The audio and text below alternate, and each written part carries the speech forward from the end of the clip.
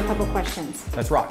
This building is amazing. How old is it? Uh, built in 1910, so 109 years old. I, I think my math is correct. Nice. What time did you wake up this morning? Uh, a little bit later than I would want. I would say 5:30, 5:40. Morning person or night owl? Uh, morning and night owl, unfortunately.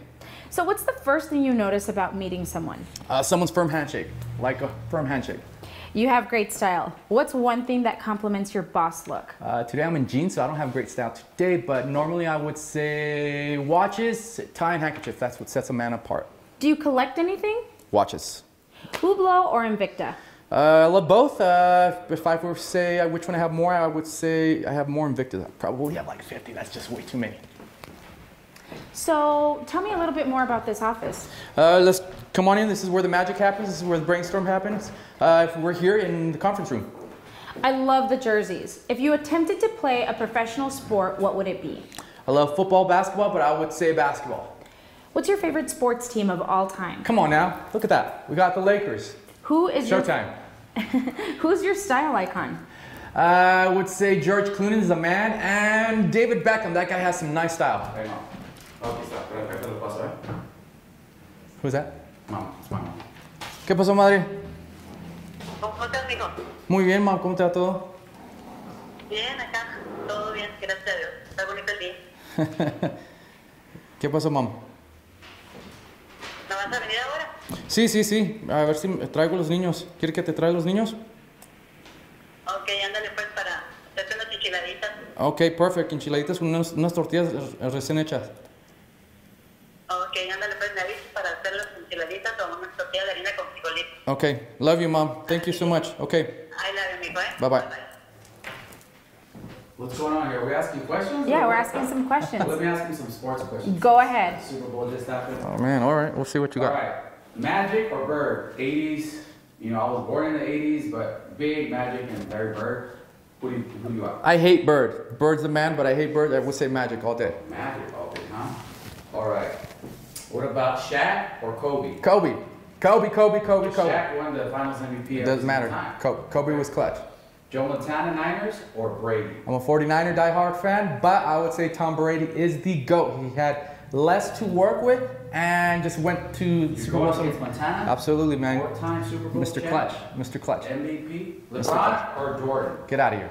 Get out of here. Even This is though Jordan. LeBron's gonna surpass him, He's lost too many times. Lost too many times in the finals. Created super teams to get to the finals. Uh, was in the East when it was really soft. I would say Jordan hands down. I'm done. Isaac, you're stealing my interview. I'm gonna have to kick you out. what is your best habit? Uh, best habit, I, I would say um, giving to people. Love to give. What is your worst habit? Uh, I don't know when to stop working. Sometimes I'll work too long. Do you have a hidden talent? I'm a singer. I, I love to sing. Nice. Movie that has made you cry? Uh, I would say Lion King back in the day, but uh, a movie that's making me emotional would would say Coco. I love Coco just because my kids love Coco. My little son plays his guitar that my dad bought for him, so love that movie for my son. That is so cute. Do you have a go-to workout song? Uh, I listen to salsa, hip hop, rap, gospel, everything in between, whatever my my mood is in. What is your spirit animal? Spirit animal. Uh, I don't have a spirit animal. My dad. I don't think my dad would appreciate that. He's a pastor, so there, there's no spirit animals in our, household. What is the best gift you've been given by an agent of yours? Hands down, I got a record player in the reception area that plays old vinyl record players. Record players. Nice. What book are you currently reading? Several, uh, but I would say one that stands out to me, the one I read today uh, when I was in the restroom, was Automatic Millionaire by David Bach. Do you prefer audiobooks, iPad, Kindle, paperback, or hard copy reading? Uh, hard copy, easy. I like to highlight, I like to write my notes. Do you have a favorite book? Favorite book, uh, the Bible. Easy. So, who is your biggest inspiration? Uh, biggest inspiration would be my daughter Aviana. She has autism, but she does not care what people think. She's an amazing, beautiful spirit, and I just love her. She's a fighter. Do you have a favorite vacation spot? Anything where I'm in shorts and there's an umbrella over my head and a pineapple drink in my hand. What about trips? What's been your most rewarding trip? Uh, hands down was my most recent trip that I took with my, uh, my brother and my, my parents. Uh, we took them to Alaska and Canada. It was a bucket list trip for my dad. He's been always wanting to go to um, to Alaska and Canada. Sounds like an adventure. What's a perfect day for you? Perfect day for me would be pretty simple. Wake up really, really early, uh, work out, come in, work hard, uh, tend to my agents, see what they need, and then finish out my day by just hugging and kissing my little bit, my little kiddos at the end of the day. Do you have a favorite comfort food? Uh, you just heard it right now. My mom, enchiladas, tacos, gorditas, whatever my mom makes is delicious. That sounds good, and I'm jealous. what are the top traits you inherited from your parents? Uh, spirituality, uh, being grounded in my faith, uh, I would say uh, being given to others, and then just uh, um, uh, serving, I guess, serving the community. Describe your mom in three words. Uh, giving, nurturing, and also selfless. Describe your dad in three words. Uh, that one's a little bit more difficult. Uh, disciplinarian, uh, highly intelligent, and he's super passionate about people. Is it true that you are an NYU grad? Yes, yes, I am. That is so impressive. What's one thing you've learned during your time in, in New York that didn't come from a book? Uh, just how to order a bagel at a bagel shop. I got rejected my first day there when I ordered a bagel. I was asking him for uh, what do you suggest, and he kicked me to the back of the line. So you got to be aggressive even when you're ordering a bagel at, in, in New York. Wow. What's the best part of living there? Uh, the people, the diversity. You are literally just a number. They don't really care about your color of skin. Everyone's uh, just there to uh, make money and just uh, get after it. I love that. And what do you think is the worst part about living in New York or the biggest misconception about New Yorkers? The biggest misconception about New York is that everyone is rude. They're not all rude. And the one thing I hated about New York was all the trash and not being able to park a car in a garage. That's sadly.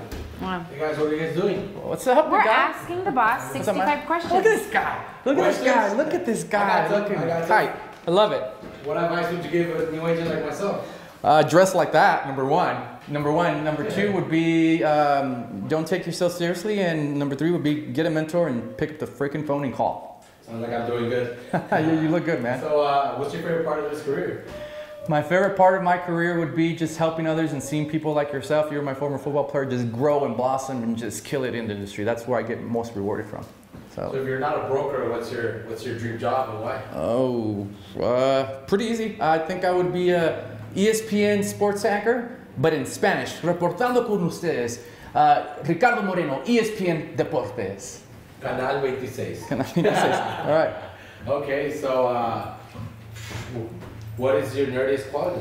Uh, nerdiest quality that you guys probably make fun of me all the time. I, I think I'm too analytical. I love numbers. I love to analyze. So I would say analytical. This guy actually cracked the Zillow code, so call him. Thank you. I'll see you guys later. Thank you. So, what was your first job? First job, I had uh, an amazing job. I was a busboy at Carino's um, on the west side of El Paso, making two dollars and thirteen cents Wow, humble beginnings. an hour. Yeah. So, Rick, I want you to write down one real estate term that everyone needs to know. Ooh. Uh, all right. Let's see.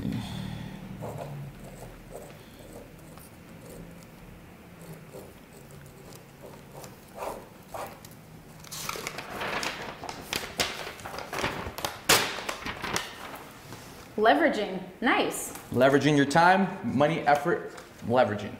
What's the best way you decompress after a long day? Vino, Cabernet or Merlot. Okay. What would most people not suspect about you? That I'm actually a pretty fun and easygoing dude if once you get to know me. Magic or comedy? Comedy, I love to laugh. What makes a house a home? Uh, mom's home cooking, the smell of mom's cooking just makes it makes it home. Yep. Hardwood or stamped concrete flooring? Uh, I would say hardwood. I love hardwood. FHA or conventional? Uh, the one that provides most down payment, that way a buyer could have uh, instant equity built into the home. Uh, so I would say more often than not, it's going to be conventional. Resale or custom built? I would say resale. The only time I would suggest you building a custom built home is if it's going to be your dream home, or if you don't have the cash flow to make repairs on a resale home. So that's when I would say build your new, your new home. Mountain views or valley tranquility? Mountain views for sure. One story or two? Uh, one story. I like the open concept layout, so one story. What's one thing you wish homebuyers stopped doing? I wish they would stop asking their tia, their tia, their comadre, their relative, their dog, their cat for advice on real estate, especially in the, during the buying process, because they do not know what to do. That makes sense. What's one thing you wish home sellers stopped doing? Clean your freaking home. Clean your home. That's the, the most important thing. And number two would be uh, Uh, leave before a showing. Um, you are not the negotiator. Just, just go ahead and leave. That way, the buyers could do and, and discuss on your home and give you the best offer. That's a great idea, and it almost seems obvious. Lowe's or Home Depot? Lowe's, they're a little bit more organized. Tequila or whiskey? Uh, we'll say whiskey. What do you think is a skill that can never be mastered? Uh, golf. One day you're doing pretty well, and the next day you bomb. So I would say golf. East or West Side El Paso? Anything that has a mountain view. So That's beautiful. What is one thing you've learned as a broker? Uh, not to take yourself too seriously when you're negotiating on a deal. Um, you're going to be meeting the same agent on the next deal if the deal goes well or if the deal bombs. So I would say that, and um, uh, just being given to other people. What's your biggest goal for 2019? I want all my agents to double their production. So my goal is to be just uh, a support network and nurturing what they're doing. And lastly, what is one thing that stays with you after every transaction? that one's hard. Gray hair, a lot of gray hair, a lot of gray hair. that would be it. Rick, thanks so much for your time. Have a great day. Thank you so much.